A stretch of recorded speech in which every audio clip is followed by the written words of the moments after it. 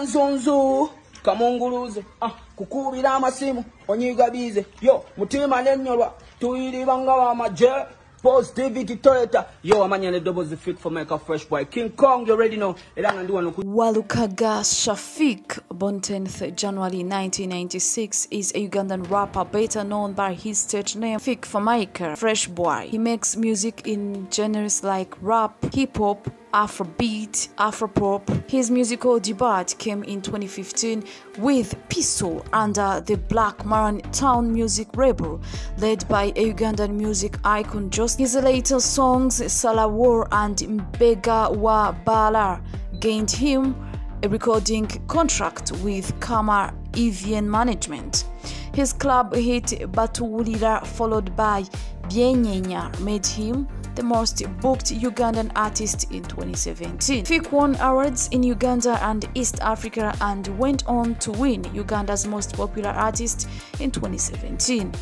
In 2018, he was crowned Breakthrough Artist, Best in Hip Hop and Best Rap Song for his track Kutama at the annual Hip Hop Awards. He continued with club hits including Mafia, Property, Skonto, and Tonsukuma in 2019, paired up with Nigerian superstar Patoranking for hit song Omo Omowat. Started a recording label called Fresh Gang Records in 2019, where they signed various artists like Mozello Kids, local managements like Big Sam, and official dancers like Wembley Moore and DJ Ranks Showmaster. Under this group, he has released his later songs Moko Evunya featuring Shiba Dibyange, Buligita, and so on. Fik Mike received his first international nomination with Calligraph Jones Sakodi in the 2018 Nigerian Entertainment Awards